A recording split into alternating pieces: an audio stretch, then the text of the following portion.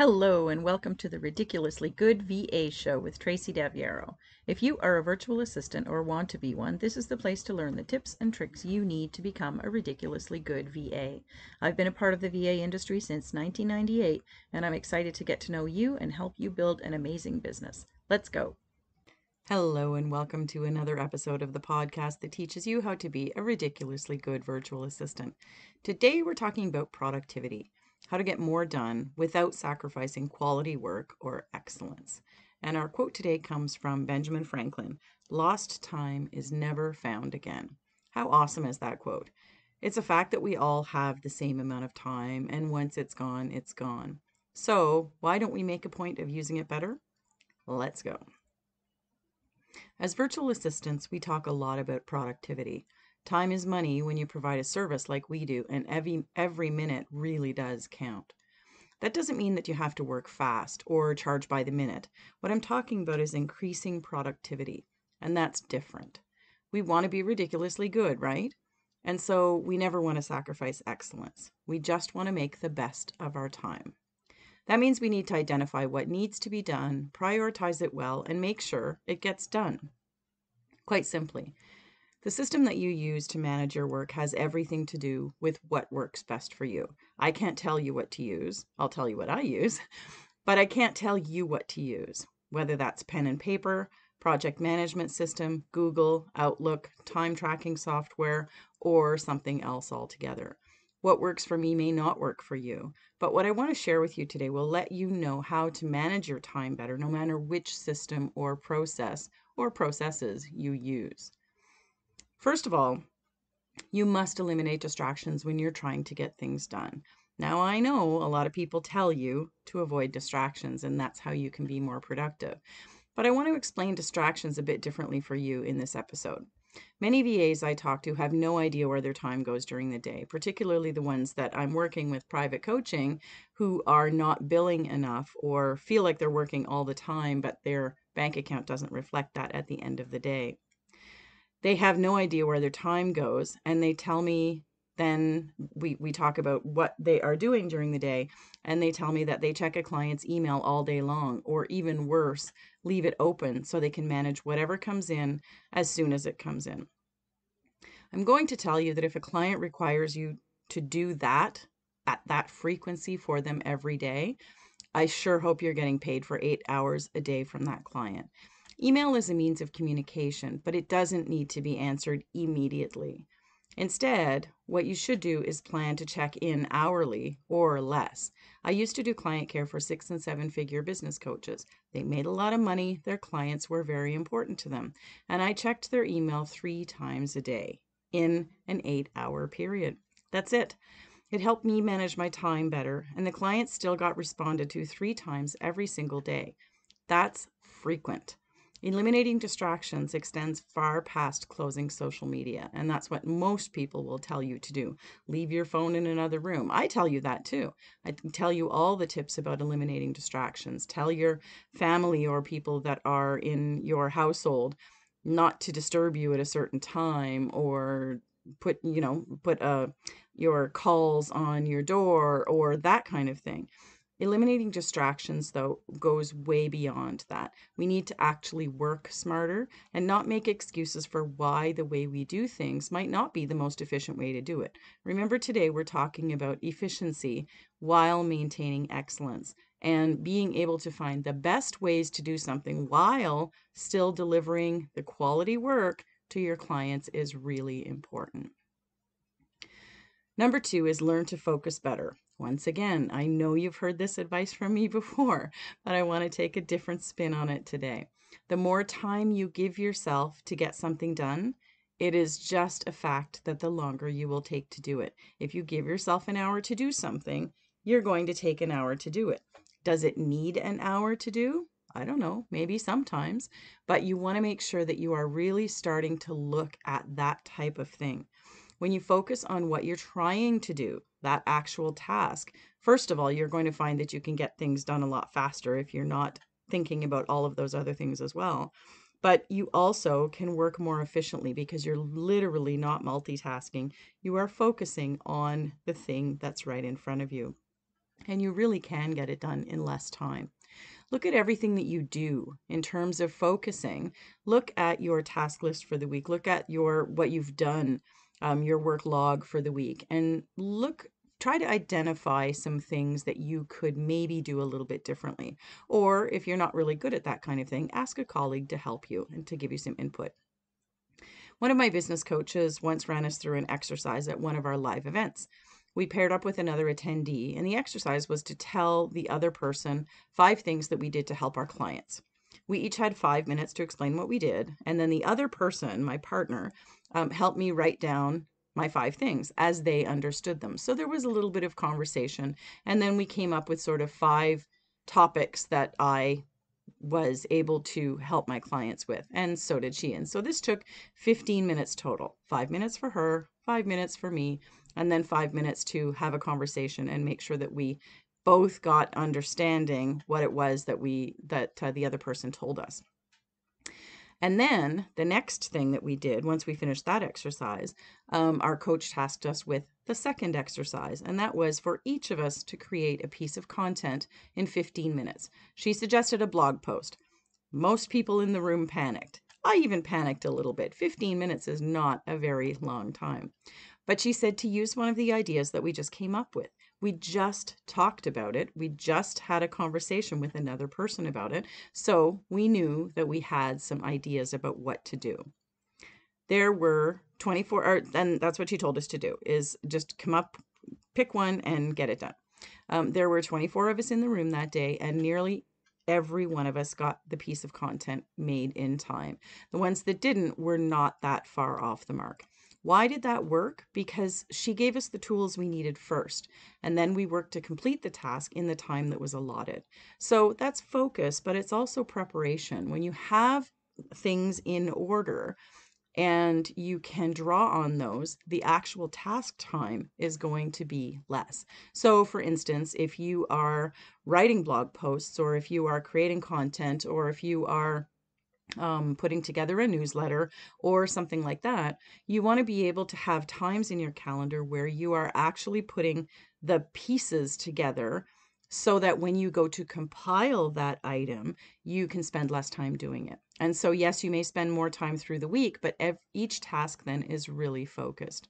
And that's really what the focus for me is about is being really clear on what that thing is that you want to get done what is that deliverable and being able to simply give yourself the best advantage to getting it done Number three, create buckets of time. Yes, again, this is something that I tell you very often, but I cannot say it enough because there are so many people that I know who still are not using them. So, what what I mean by creating a bucket of time is having a stop and start time, a start and a stop time, pardon me. And um, this topic will always make my productivity podcast episodes. Part of the reason that we lose time is that we give ourselves the start time, but then we don't give ourselves that stop time, right? You think think of a bucket and we have the top of it and we have the bottom of it, or you can have one side of it in the inside of it and then the other side, however you want to look at it but it is a start and a stop, and that creates a complete bucket of what you are going to do. Now, I highly suggest having your buckets be 15 minutes, but again, as you're starting to learn to do this and to manage your te- your time better, you can expand on those if that makes sense for you. And certainly there are tasks that will take longer than 15 minutes, although I do still suggest breaking them up into the very smallest quantities, like I was just talking about with a newsletter or a blog post. Pull together your image, you know, get your statistics in, in a 15 minute bucket of time um, write your bullet points or your outline. And then, whenever you go to create the actual item, you are focused. You have all of the pieces that you need. You know, make create the image and size the image properly. Those kinds of things. Give yourself that that ability to do that. And those buckets of time help you to slot more things in, so that when you sit down to do a blog post, you don't have to spend two hours doing it because you already have the pieces in place. And my experience is that when you have these smaller pieces of time that you allow yourself, that if for some reason you miss one of them, you haven't missed a two hour block of time, you've only missed a 15 or 20 minute bucket of time. But I digress. My buckets of time will always make my podcasts. And so I will continue to explain them to you until you start using them because I think they're so valuable.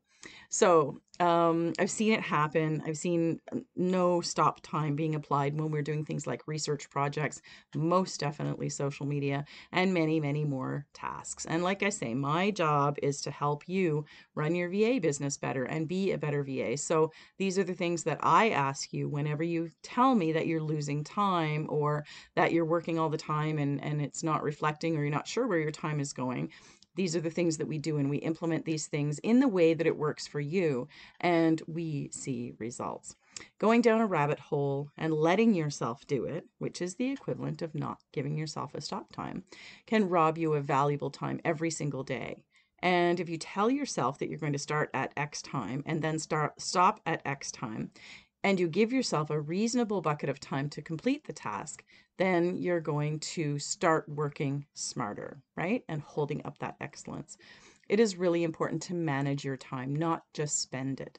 So if you give yourself a stop time, that's managing it. And if you need more time, you're aware that you need more time, it's absolutely no problem. You can give yourself that more more time. You assign yourself more time to complete it, but you're not losing track of time and you can't just keep going because you're not done yet. You have to stop when that alarm goes off and you say, "Okay, now how much more time do I need?" And when you're constantly reevaluating what it is that you're doing, then you're going to get better at managing your time. Number four is using tools, things like checklists and procedures, automation tools. There are no, there, there is no end to the number of productivity tools and um, things that you can use, resources and that type of thing to help you manage your time better. Um, whatever you need and whatever you're going to use. And I know lots of, of people, not just VAs, who have gone through a number of different things that other people highly recommend and they didn't work for them. I'm not really big on a project management system if, unless there's a team of people working on things. Um, for myself, I use um, my bullet journal and Trello and my Google Calendar. So that for me is a combination of paper, my phone, and a project management system or a task management system more than anything. And it works for me.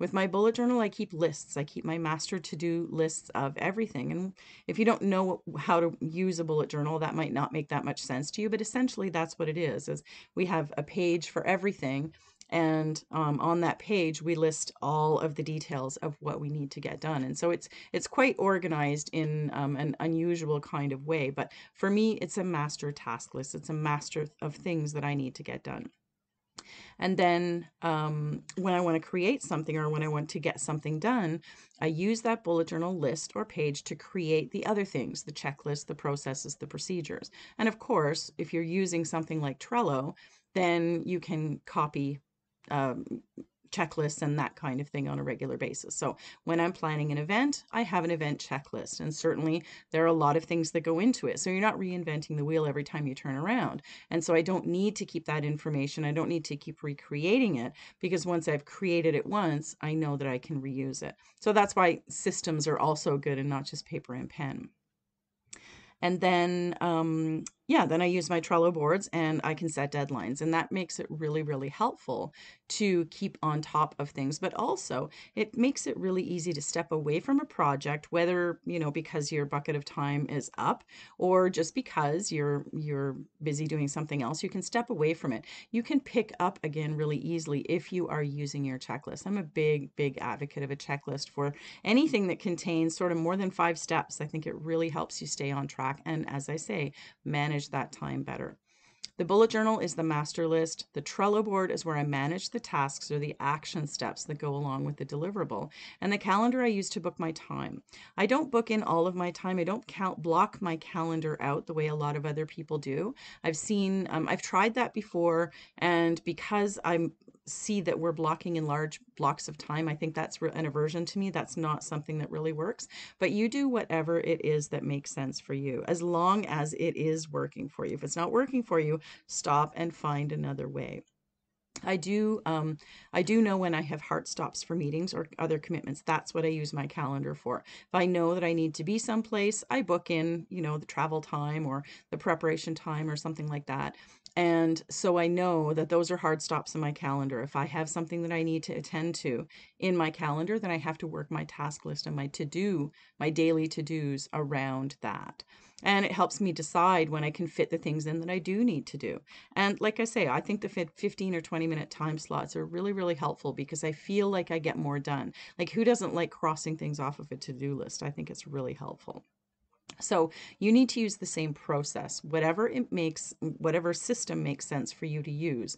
And if that's just paper and pen, that's okay. I think we have to graduate. The busier we get, we have to graduate past the pen and paper. Um, but there are certainly ways to implement it, as I have with the bullet journal. So, but you need to keep it master to do list, use a system or process to manage your daily and weekly tasks, and you have to work within your calendar. So those three things are really the key to what you need to do to get better at what it is that you are um, not doing well at. And then, of course, here you are managing your workload in the time that you have available in a day or week. It really is a great habit to begin using, and you're going to get better at it the more you do it. Practice makes perfect in just about everything. And then number five is stay on track. Whatever you plan, do your best to keep yourself on track. If you haven't scheduled your time and really managed it well before, you may get it wrong sometimes, but don't give up. Cut yourself some slack and keep at it.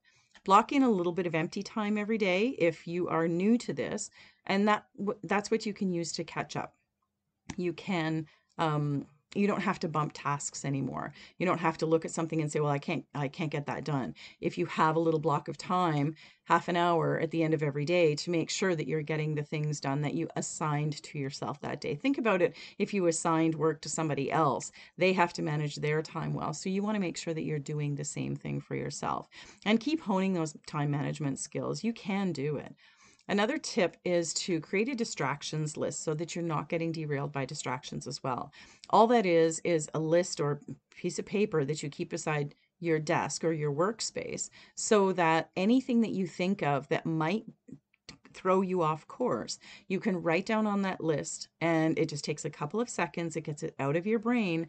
And then you know you can actually attend to it later. You're not going to forget, which is usually why we jump to another task because we don't want to forget about something.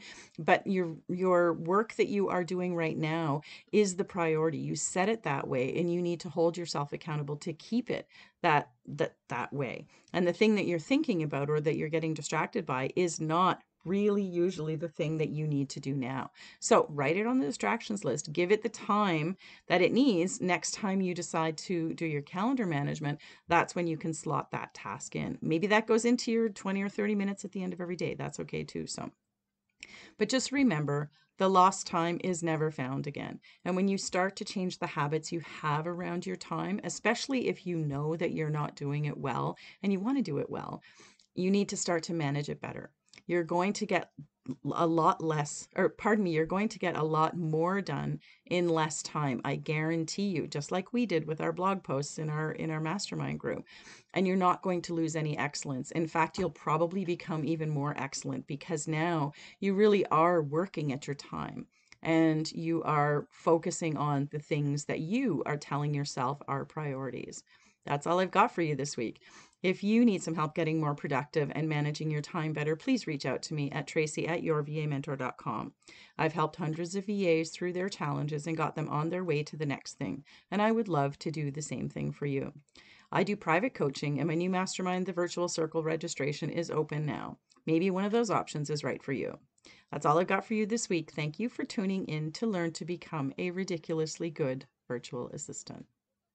Thank you so much for tuning in to this episode of the Ridiculously Good VA Show. Don't forget to subscribe so you don't miss a thing. For more great resources for your VA business, visit my website at yourvamentor.com. I'll see you back here next time.